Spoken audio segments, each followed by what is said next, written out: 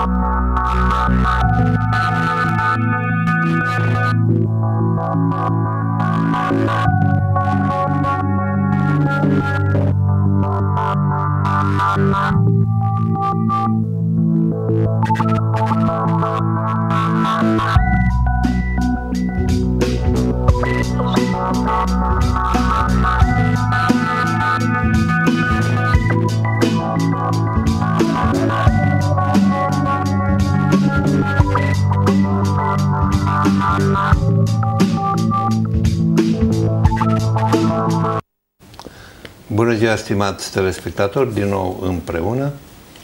De această dată, invitatul meu și implicit al dumneavoastră este profesorul universitar dr. Eugen Munteanu, pe care îl salut și îi mulțumesc că și-a făcut loc prin această căldură toridă să ajungă în studiourile TRM. Mulțumesc mult! Mulțumesc pentru invitație, bună ziua, doamnelor și domnilor! Vreau să vă atrag atenția de la începutul emisiunii că profesorul universitar doctor Eugen Munteanu este un munte. Un munte? Hai să spunem, un munte de filologie. Domnia sa, filolog, lingvist, eseist, traducător, are și acea calitate de a fi biblist, biblios, Biblist. sau biblist, da, e un termen pe care, uh, iată că îl, continuăm să-l învățăm, dar și filozof al limbajului. Domnule profesor, de ce biblist? Mai mult sau mai puțin din întâmplare care înseamnă în cazul meu și puțină vocație. Este vocație în sensul că am simțit întotdeauna atracție pentru lucruri mai puțin cunoscute și mai puțin studiate în câmpul filologiei și întâmplare pentru că la Iași, în momentul în care eram foarte tânăr și la începutul carierei, se iniția un proiect de studiu al Bibliei în limba română și am avut norocul să fiu invitat de profesorii mei să fac parte din acest proiect. Așa încât, cum am mai spus și alte dăți, din cel mai tânăr am ajuns... Vi se trage zic, de la tinerețe. De la tinerețe, De la da. tinerețe și ați reușit uh, să uh, traduceți, să comentați textul de la Septuaginta, nu? Uh, Nicolae Spătaru Mirescu, unul din uh, uh, erudiții între ale Bibliei, și, nu în ultimul rând, ați reușit să traduceți și Biblia de la 1688. E bine să folosim un termen mai precis. Nu am tradus-o, ci am editat-o. De tradus a tradus-o Nicolae Spătarul. Deci este vorba de fapt Da, că... dumneavoastră aveți acel uh, comentariu. Am comentat-o, asta da, e adevărat. Aveți acel deci, comentariu m-am care ocupat... îmbogățește originalul. Uh, e drept că am tradus și fragmente, cărți din Biblie, dar în alt proiect. Am tradus Leviticul, Cartea Înțelepciunii lui Sirach, uh, Psalmul 152 și încă o, o carte în ediția Septuaginta de la Polirom. Acolo, într-adevăr, am da. fost traducător. Dar când e vorba de Biblia de la București și uh, Nicolae Spătaru, e vorba de ediția științifică, comentată, etc., în mai multe volume. Deci aș zice că sunt biblist în sensul de traducător și comentator din punct de vedere filologic al Bibliei. Acum, uh, poate telespectatorii uh, aud de Biblie și au imaginea acelei cărți cele mai mici sau mai mari, cu care merg la biserică, din care citesc psalmi. Uh, ceea ce ați făcut dumneavoastră e un monument nu o poți ține mai mult de câteva secunde în mână fără ca brațul să nu-ți obosească. Ați făcut niște dispozitive speciale pentru a lucra la o asemenea carte? De susținere, de... Vă referiți la, la um, volumul uh, uh, versiunea Manus 45 a Nicolae Milescu, care a fost editată da, da. într-un singur volum masiv da, da, da. și pe care, cum spuneam, de ună zi, și mă repet, uh, um, conducerea de acum 3-4 ani a Academiei a considerat că e demn să fie oferită drept cadou papei mm. sanctității sale Franciscus. Este într-adevăr o, o carte, ea a căpătat uh, dimensiuni uh, uh, prin aparatul critic. E vorba exact. de reproducerea imaginilor originale în format, transcriere, aparat critic. Când ați lucrat la această carte? La această carte am lucrat împreună cu colaboratorii mei, cu șase colaboratori remunerați dintr-un proiect național 3 plus 2, 3 ani de grație și încă doi uh, prelungire. Deci ați, ați fost pur și simplu obligat de termenele? Nu, nu. Uh, am fost obligați de termene să terminăm da, lucrarea, dar da, da. de tipărit un semnat și alte operațiuni, fiindcă acolo intervine arta tipografică, a da, intervenit da. tipografia, deci treaba colegilor la tipografie, care și aici trebuie, totdeauna am subliniat, dacă ați adus aminte de această carte, de aportul uh, specialiștilor de acolo. La editura universității sunt câteva doamne de o extremă uh, uh, competență în, în Aici chestia. la Iași, da? Aici la Iași, editura Aici, Universității din Iași. Eu nu știu dacă să nu fac o greșeală, dar uh, fosta directoare de la Dosoptei, la tipografia Dosoptei, uh, am, am mers la dumneavoastră. Nu, nu mi-am amintesc. E acum. posibil, da. Da, da, da. da. Și pe, uh, o profesionistă deci, uh, uh, sigur că uh, una e treaba editorială și pe mine intervine tipografia da. propriu-zisă. Mai, mulți, mai multe aspecte. Asta e un aspect. După aceea este cealaltă carte, are 25 de volume, 25 de volume pe care a pus într-o casetă specială, acea de culoare galbenă, se cheamă Monumenta Lingve Daco Romanoru, și care se află în biblioteci, în fine, pe la anticariate, mai, mai sunt volume de vânzare, 25 de volume, și aceea am pus-o într-o casetă și acum sunt în dilemă cui să dăruiesc acea casetă. Eu vreau să vă reamintesc că uh, la acel târg de carte, Zilele Recolte Editoriale, cartea a fost uh, premiată. Premiată, exact. Da. Ea făcând parte din producția editurii uh, universității. Bun. Ce ați făcut ieri? Ieri uh, am fost la grădină și am suferit de cald. Și am udat florile care mureau și am citit, citesc. Eu sunt într-o da, criză când, permanentă. Când de... v-ați întâlnit cu Eugeniu Coșeliu? Aoleu, aveți dreptate. Asta am făcut-o seara, pentru că în cursul zilei am uitat. În cursul zilei am avut o sesiune comemorativă, aveți dreptate, între 10 și, și 16 am avut o sesiune comemorativă Eugeniu Coșer. Eu mă gândeam la viața mea privată, nu la cea publică care... Deci, e, nici de viața privată n-a spus totul dacă tot este destăinuit. Da. Da, într-adevăr, asta este probabil și motivul pentru care ne aflăm împreună aici.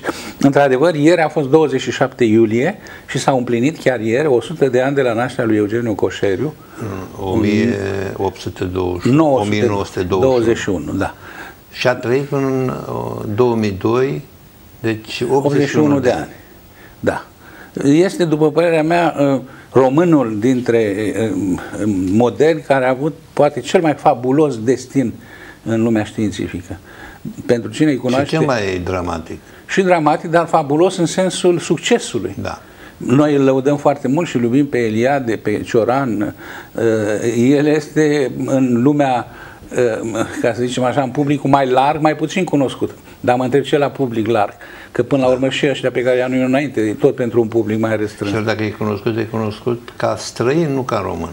A, în străinătate, de fapt, da în lumea franco, în lumea hispanofonă, italofonă și germanofonă, deci în universitățile din aceste spații culturale, mai puțin e drept în cea anglofonă, este considerată numărul unu, autoritatea supremă în chestiunile de lingvistică.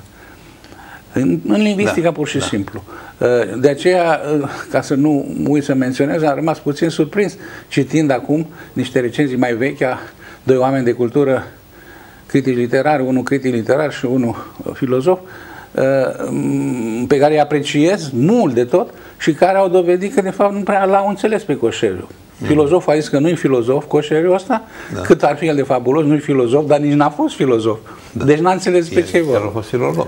A fost filolog, pur și da. simplu lingvist, adică. Da, da, da, da. Adică teoretician al limbajului. Asta a fost Eugen Coșeriu. Și uh, în același timp, destinul său dramatic, ca să nu spun tragic, uh, a fost tocmai imposibilitatea de a se manifesta, mai ales în limba română. Și a fost obligat să învețe și italiana, să învețe și spaniola, să învețe și uh, uh, uh, germana.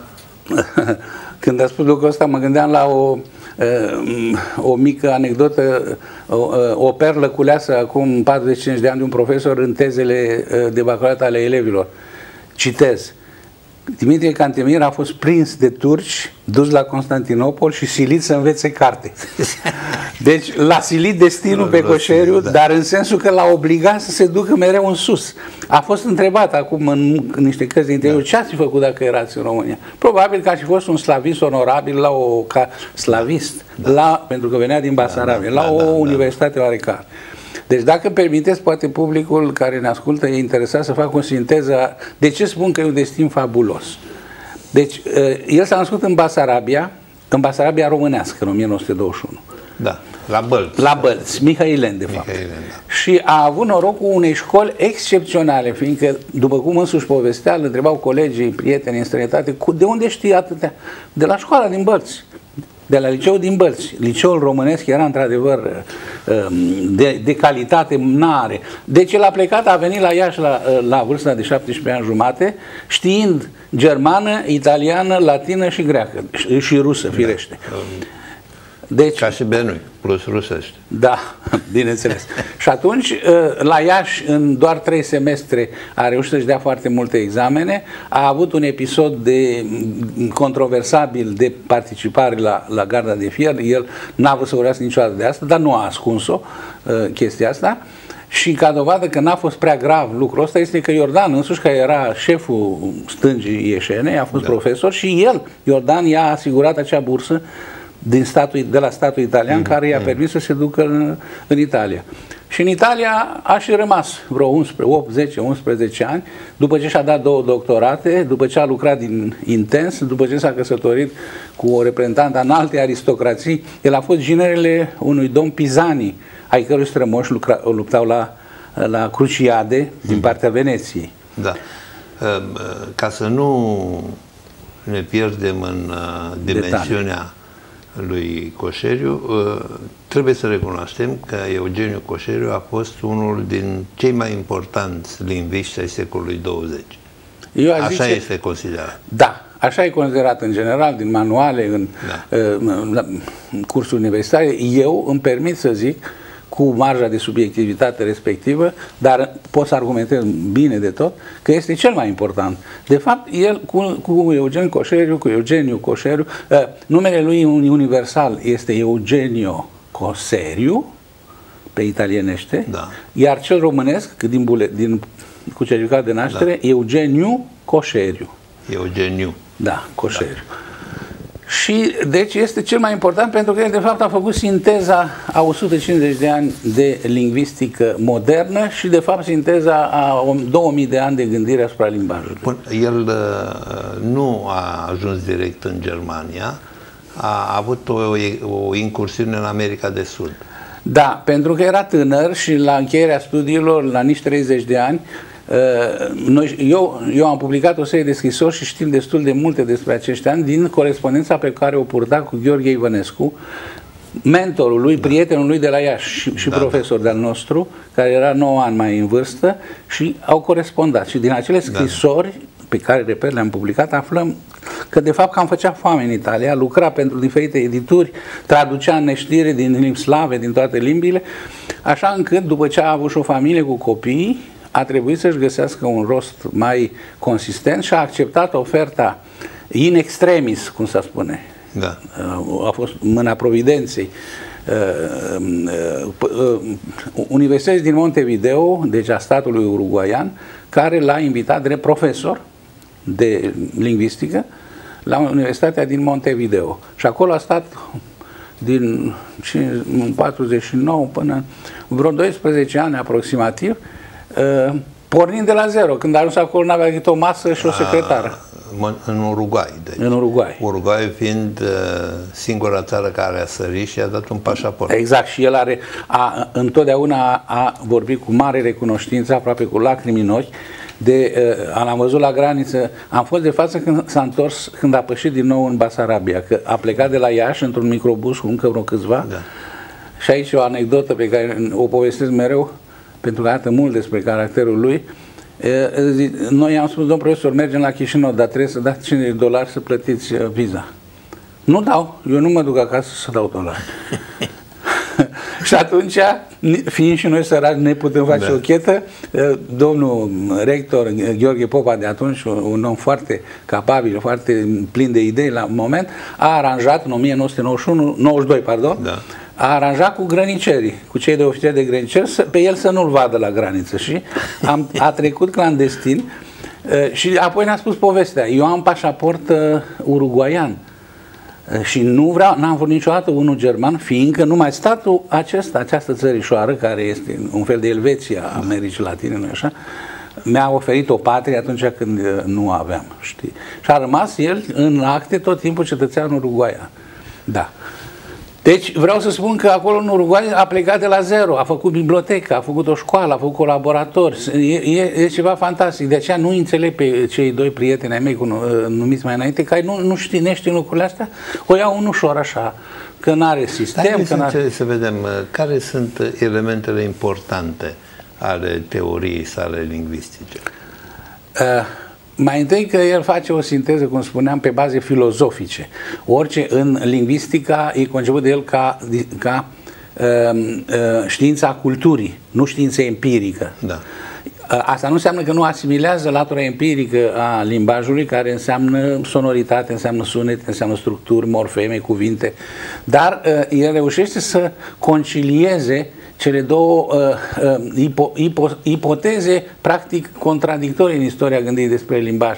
Ipoteza asta care vede în limbaj un instrument format din semne prin care oamenii comunică, comunică da. și altă ipoteză uh, exemplificată, formulată mai ales de către poeți, că limbajul este de fapt expre, uh, forma supremă a creativității umane. De fapt, limbajul este și una și alta. Și limbajul nu, nu este un simplu instrument, cum spunea uh, filozoful Gadamer, mai explicit aceeași idee, pe, ca o sculă oarecare agricolă pe care ei o lucrezi, o pui în cui, a doua zi o iei din ei. Nu ne putem imagina nicio clipă, chiar și când dormim, fără limbaj. Da. Nu, nu, noi suntem în limbaj mai mult decât el în, în noi. Și, pornind de la acest fundament, dezvoltă o teorie care ado, uh, care îmblânzește structuralismul, ca să zic așa. Structuralismul uh, secolului 20, creația lui Saussure și toate celelalte, da. dă o explicație mecanică limbajului. E, această mecanică este păstrată, că explică uh, cum funcționează un motor. Dar nu explică și duhul, sufletul motorului, ca să fac o metaforă da, nu știu da. cât de fericită. Și deci, noi avem motorul acesta, vrem să știm cum sunt piesele îmbinate între ele, dar vrem să știm și de unde vine energia, cum merge el de ce merge, în ce scop. Da. Asta, asta este noutatea. Plus că a făcut o serie de distinții de o valoare practică extraordinară. Da, el, de exemplu, a explicat uh, dincolo de teorie, a explicat practic ce se întâmplă în limbaj, în cuvânt. Exact. Întâi și întâi uh, vă enunț câteva distinții foarte clare care, de înțelegere de toată lumea. Mai întâi, uh, distinția între uh, limbaj și limbă. Limbajul este o facultate universală cu care noi ne naștem sau cu care da. suntem dotați de creator. Punct. Ăsta e limbajul. Da. Este ceva pe care îl avem în noi și nu-l determinăm noi, îl primim. Da. La naște, ne naștem cu el. Limbile, în schimb, română, latină, germană, câte sunt câteva mii, noi. sunt creații, creații ale comunităților umane și sunt creații. Da. Fiind creații, ele sunt supuse permanentei schimbări. Și aici este domeniul creativității. Și în realitate uh, uh, uh, Saussure și structuraliștii spun că ceea ce există în limbă este un sistem și noi aplicăm sistemul. În realitate, pe urmele lui Humboldt, de fapt un mare da. gânditor german, Coșerul afirmă ceea ce există în realitate sunt actele de vorbire, oamenii care vorbesc. De acolo scoatem sistemul, din aceste acte de vorbire. Deci primatul, zicem noi, primatul uh, um, activității de vorbire. Limba este, spune cu termeni aristotelici și Coșeriu și Humboldt, energia, adică o energie, energie da. o uh, creație permanentă. Și să știți că tot energie este și pauza publicitară. Da.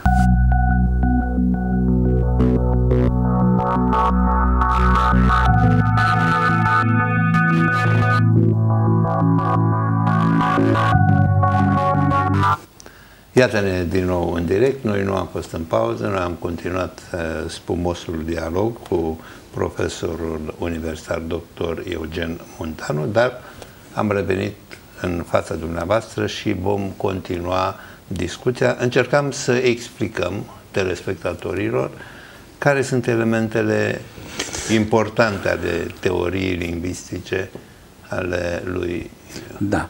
În afară de acel fundament filozofic și derivat din trânsul, se află o serie de uh, uh, distinții de mare importanță pe care practicienii studiului limbii, studiului limbilor propriu-zise, le uh, pot utiliza ca instrumente de studiu. Deci aceste distinții sunt de o maximă importanță.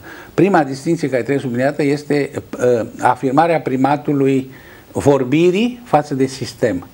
Deci, Saussure, marele creator da. al lingvisticii structuraliste, spune că există sistemul care se manifestă în diferite limbi. Coșerul spune că nu, există, de fapt, este o, o gândire fenomenologică asta, observ realitatea. În realitate nimeni n-a văzut vreun sistem, dar vedem oameni care vorbesc. Ei vorbesc și noi da. limbile din Vedem limba practicienii da. acestui sistem. Scoatem din, din aceste uh, acte de vorbire se, sco se scoate sistemul și zicem acesta este sistemul pe care îl numim istoric sau l-au numit ei limba română. Limba română este limba vorbită de atâtea milioane de români de 1200 de ani în spațiul respectiv. Da. Limba franceză așa. Asta este limbile, limba istorică. Deci, distinția între limbă, limbaj și limbă, văzută ca o, creativitate, ca o creație permanentă.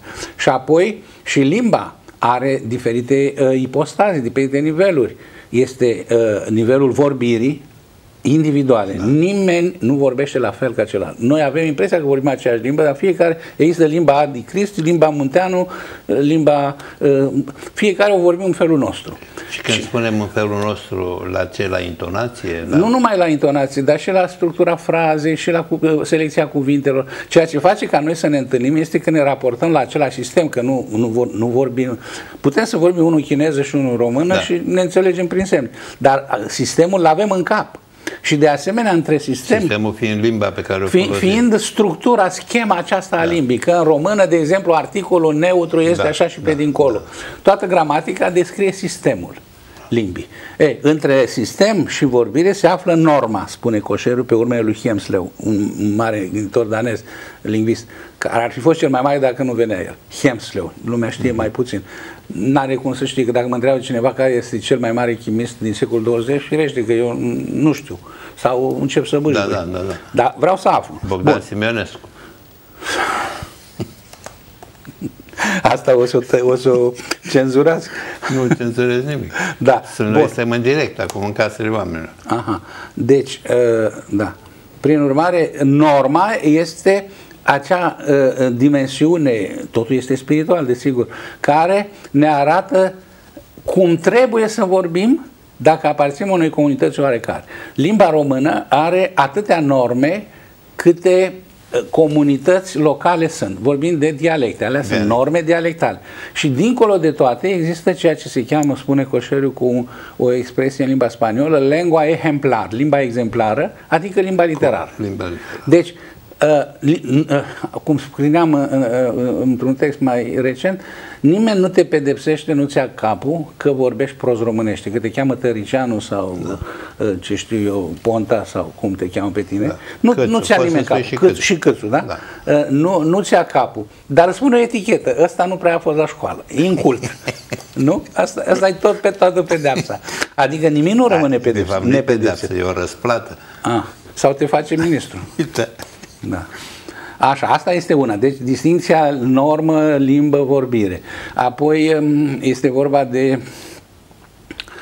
foarte importantă și ușor de înțeles, cred eu, pentru toată lumea. Limba este o, o creație istorică. Ca orice entitate istorică, ea poate fi, ne învață Aristotel, supusă examinării din trei perspective. Perspectiva universală, perspectiva istorică și perspectiva individuală. Și individul, chiar și un pom, are este ideea de pom, apoi un, un, toți pomii la un loc fac o istorie și fiecare în parte. Tot așa și limbile. Și toți pomii la un loc? La un, la un loc, Fac o, fac pădure. o pădure. Tot așa și toți oamenii, la, toți vorbitorii unei limbi la un loc fac un, un popor. Un, un popor, exact. Deci, la nivel uh, universal avem facultatea limbajului. Toți vorbim. Da. La nivel istoric avem limbile istorice, unele mai sunt, unele nu mai sunt, unele sunt moarte, altele nu. Cele moarte sunt care au uh, murit toți vorbitorii, le-au murit toți da. vorbitorii, cărora le-au murit toți da. vorbitorii, că da. vorbesc da. și eu da. incorrect gramatica, din, uh, din grabă. E treaba cu școala. Da.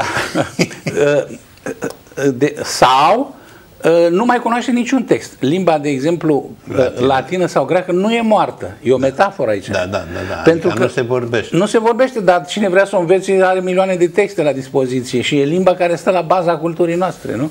Cel mai mult se vorbește în interior, un solilogiu în limba latină. Da, dar de vreme ce ai atâtea, de, atâtea texte și limba da, greacă, da, da. nici limba hitită, nici limba caldeană, nici limba ebraică nu sunt limbi moarte. Pe pentru că avem limba texte. ebraică, arameică, chiar că nu nimeni nu mai... Nu, dar o învață. O învață Eu l-am da. cunoscut pe singurul profesor, cel mai nou profesor de limba aramaică de la Salamanca, Sefar îl cheamă, mm. un mhm. profesor care vine de pe acolo și a obținut concurs. Profesor plin, a venit la noi în Iași, i-am dat Biblia aia frumoasă ca să o ducă la Salamanca. Haide, și ce v-a făcut?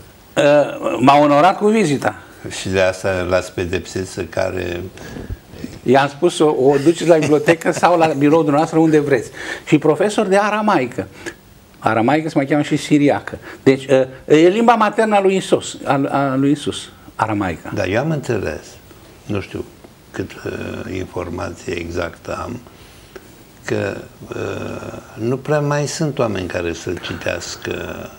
Dar și eu... De asta uh, textele grecești, traducerea în greacă nu e folosită pentru da, a suplini această lipsă. Ba, uh, îmi pare rău, dar există o comunitate de uh, siriacă deci care trăiește în, în Liban, în Iordania, în Siria. Să nu se facă cu evrei, așa că... Nu, nu, siri, siriacă, nu siriană. Nu, siriacă. Sirienii sunt Liban, un popor evreu, da. sunt da. un popor arab și, și populația asta creștină de limbă siriacă, mm. care uh, își citesc Evanghelia în limba siriacă. Există o comunitate. Acest domn profesor face parte din această comunitate.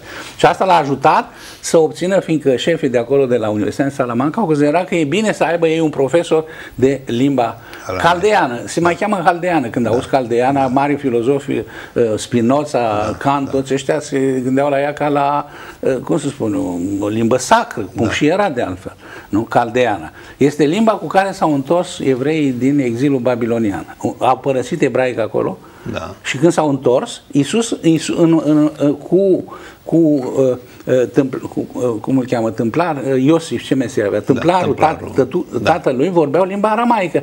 Iisus știa și greacă. Orice om uh, Uh, instruit cât de cât în epocă da. erau sub stăpânire romană. Știau și puțină greacă, de aceea Evanghelia au fost scrise în greacă. Da. Dar limba lor de conversație, Ioan Botezătorul când l-a botezat pe Iisus Hristos în apele Iordanului, în aramaică l-a botezat.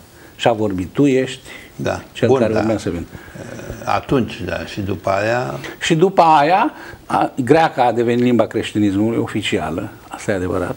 În afară de comunitățile, cum spuneam, siriacă, și de cea coptă, că este și o comunitate. Da. Copții. Copții, Copții care, copt, înseamnă, este numele în această limbă corespunzător grecescului Aegyptos, egiptean, adică. Uh-huh. Copta este o variantă mai nouă a limbii egiptene, vechi. Da.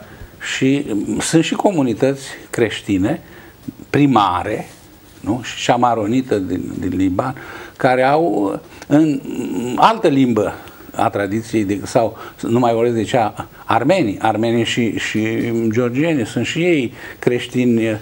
Care uh, e fascinant să ascult ceea ce uh, descoperi, dar care este uh, răspândirea teoriei sale, ale, a lui Coșeriu. Coșeriu, în lumea academică. În lumea academică. Deci, uh, spuneai înainte că doi distinși intelectuali nu, ei nu știu, n-au nicio, nicio vină că sunt critici literari. Da, dar eu îi definez ca fiind totuși intelectual, că citesc. Da, dacă, da, nu, dar nu poți să judeci un, un lingvist dacă nu ai citit opera. Da. Uh, judecățile care vorbesc au fost făcute pe o carte de interviuri publicată acum 2 ani, că e de 2 ani mai veche este și eu acum am dat peste asta. Uh-huh. O carte de interviuri luată de doi dintre ultimii lui elevi și cei mai străluciți, pe care îl cheamă Johannes Cabatec și Murghia, Eduardo, parcă Murghia, un spaniol, și au tradus în românește. Și l-au judecat pe Coșeriu L-au judecat după, după ce a spus la întrebări. La întrebări care vorba aceea, să da. la una la alta, dar teoria lui trebuie să... Nu. E altceva. E altceva. Deci, uh, uh, întâi și întâi aștept în România. În România uh, și în Basarabia este lege, literă de lege. În Basarabia se bucură de un cult, cum spuneam, aproape religios. Da. În România, teoria lui Coșer este predată studenților la Cluj și la Iași. La Cluj, profesorul Borcilă este cel care a făcut chiar o catedră Coșeriu, iar la Iași de mine și de domnul Dumistrăcel, colegul și prietenul nostru mai uh, da. senior, Uh, și la București de profesorul Saramandu și de alții, deci mai mult de către persoane individuale. Nu este generalizată. Uh-huh. În schimb, în universități... Nu e pus în curiculă, în, sau ba da, biografia autonomia lui... e universității de Nu, nu, nu, e citat fără îndoială, nu există bibliografie de lingvistică care să nu ai pe coșer, asta e limpede. Da. Dar vreau să spun că nu, după părerea mea, nu este recepționat cu entuziasmul care da. ar merita, ca să spun așa. Da, da. În schimb, este foarte, cum să spun eu, răspândită în, în lumea Americii Latine, adică Argentina, Chile, Peru, Bolivia, peste tot, se fac și acum. Când vorbim și zile, săptămâna asta, sunt congrese acolo. Da. În Germania, în Germania, la primele șapte, sau la câteva din cele mai mari șapte-opt universități din Germania au, au fost profesori elevi de lui. Să spun niște nume, că merită să le spun. Profesor Jürgen Trabant, um, um, Rolf Dietrich, Rudolf Windisch, um, uh, Schlieben Lange, prima lui elevă. În Italia, de, de exemplu, profesoara de la, de, de, o profesoară strălucită la Sapienția este ultima lui doctorandă, Donatella di Cesare, uh-huh. care e o mare vedetă, dacă vă uitați pe net, e și militantă social, tot, toată ziua pe televizor și a fost ultima lui doctorandă, Donatella di Cesare. Apoi în Franța, Asta e o valoare pentru italieni, trebuie să da. păstreze, să o protejeze. Da, dar el însuși e, se consideră cu uh, produsul culturii italiene, el însuși coșeriu și al celei hispanici.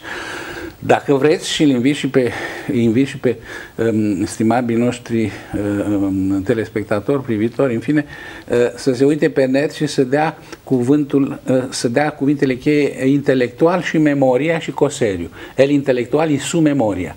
Și vor vedea un interviu de peste o oră, vechi, de când da. era în viață, de 15 ani, 20 de ani, luat de, de rectorița și de decănița de la Universitatea din Salamanca, și a, din felul cum îi se adresează aceste două doamne și, și din felul cum el răspunde, se vede de autoritatea de care se bucura. Nu, de, nu ar fi mai bine să spunem rectorul și decanul? Nu, dar erau doamne. Pe chiar dacă Doamnele rector da. și doamnele decan. Putem spune și așa, da, dar nu. în colocvial da. Așa. Ei, pe mine m-a impresionat uh, cumplit. Eu când vreau să mă, mă simt bine, uh, fie că ascult Mozart, fie că mă uit la interviul ăsta, m-a impresionat foarte mult cum băiețelul din da, din stânga lui. Din fundul Basarabia a ajuns să le dea lecții doamnelor la Salamanca, pe care îl numesc Don Eugenio. Nu-i spune uh, uh, monsieur profesor, sau cum se spune, senior sau nu știu ce. Da. Don E titlul de noblețe. E titlul de noblețe, dar numai da, nobililor da, da. și în familie, doar așa, lui bunicul, lui... Da, da, da. Și el nu are nicio treabă, are, are o, o dexteritate și uh, o maniabilitate și un farmec, trebuie să spun că și ca persoană era era măreț.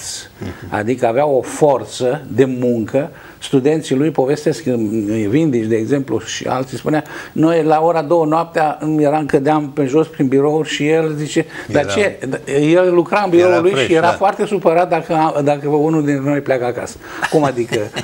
Foarte, sunt multe povești de, che- de chestii. Asta treabă de dictator, nu mai e treabă de... Da, dar dacă mă supun eu, asta e treabă de general uh, talentat. General nu e la care stă uh, la computer, e la care se duce uh, Napoleon și Cezar se duceau în față, stăteau da, sub da. tunuri acolo da, da. ca să încurajeze pe pe soldați. Deci sunt tot felul de anecdote și ale colegilor. S-a scris enorm de mult o literatură memorialistică. Eu am să adun și eu ce am scris despre el atestă că omul uh, uh, iradia în jurul lui poveste. Da. Fiindcă fiecare acum avem Evanghelia lui și dacă le pui cap la cap, uneori se potrivesc, uh, alteori nu se potrivesc. Nu? Care uh, a fost atitudinea lui față de limba moldovenească? A, a fost atitudinea unui om de știință și a unui patriot în același timp. Uh, se întâmplă că uh, pentru un om de știință adevărul e mai presus de orice. În cazul de față, adevărul era acesta. Uh, se știe că există niște troglodiți cu interese politice care susțin că limba moldovenească e altă limbă decât limba română. Da. Dar lucrul acesta îl putem experimenta cum am făcut eu la Căpriana cu niște călugări tine pe acolo. Am vorbit o jumătate de oră și pe unul îi întreb, dar noi în ce limbă am vorbit? Și moldovenește, știți bine moldovenește? moldovenește. Cum adică? Știu bine moldovenește. și, deci, prin da. urmare, el a afirmat-o de la înălțime. Următoarea întrebare, dar românește nu știu? Nu, nu, că nu e română. Nu e română asta, nu e română asta. Nu, da. Problema este că între basarabeană și limba noastră de la Iași, diferențele sunt mult mai mici decât între germană și austriacă sigur, la, la, în Austria limba literară e aceeași, ca și la Berlin. Da. Dar pe stradă și în familie, ăștia vorbesc cu germană. Un dialect. Un dialect și da. e așa de deosebit, nici măcar acolo nu e. Cam uh, ardeleana nu? Ardelenească și... Dumneavoastră aveți probleme când vorbiți cu un coleg din Ardeal? Uh, ca început, da. Așa îi vedeți Pentru tonul? Că, uh, nu, că e moțipat. Ah, că moțipat. striga? Nu mă dați afară, mă Da, bun, e, dar așa și noi adică avem. sunt niște... Sunt niște unități lexicale, adică da. niște cuvinte, da. regionalisme, pe care nu ne vine greu să le învățăm. A, nu, nu, nu, nu, că după da. aia știu ce a țipat. Nu, e de ajuns odată să spui, fiindcă, da, dacă vorbesc cu o limbă străină, cuvintele ne cunosc atât de multe încât nu le pot ține minte. Da. Dar dacă vorbesc cu un coleg din Timișoara, învăț imediat ce a vrut el să exact, spună. Exact, nu? E, deci el a afirmat... Asta ține și de unitatea limbii. Da, iar uh, limba română este, are o absolută, uh, cum să spun eu, surprinzătoare, uh, admirabilă în sensul original, adică te lasă stupefiantă unitate. Da. Și, și te gândești da. cum, în ciuda teritoriului așa de mare, totuși e aproape tot atâta cât cel al Franței, să zicem, mai mic, dar să zicem Totuși uh, sunt uh, și totuși există această uh, unitate. Ea se explică foarte simplu, asta m-a spus-o și Coșer, dar au spus și alții, profesorii lui înainte lui. Se explică prin, prin faptul că românii nu au fost un popor politic. Când, a, multă vreme, o mie de ani, când ai un stat, intervin după aceea legi, restricții și se face și o limbă. Când, când poporul este într-o permanentă mișcare prin transhumanță, prin și el duce peste tot aceeași limbă, o găsește mereu acasă, limba asta. Da, da. Uh, tot Coșerul uh, afirma că el versuri a scris în română.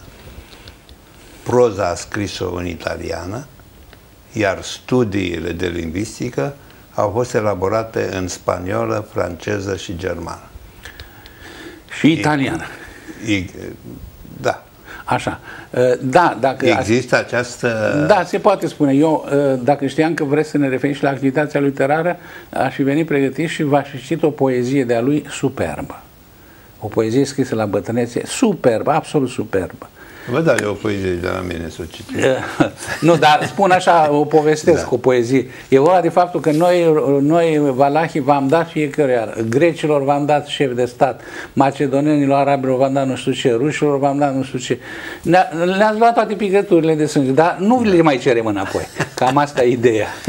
Iată cum, uh, stimați telespectatori, a fost uh, o întâlnire extraordinară, o întâlnire în care timpul și-a văzut de ale lui, iar noi ne-am dat seama că este mult prea să îl evocăm pe uh, Evgeniu Coșel.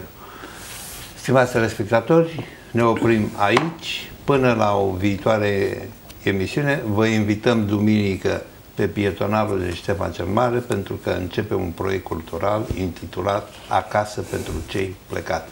Vă veți întâlni timp de pe toată întinderea lunii august, în weekenduri, cu cei mai importanți poeți ai Iașului. Până atunci, vă spunem la revedere!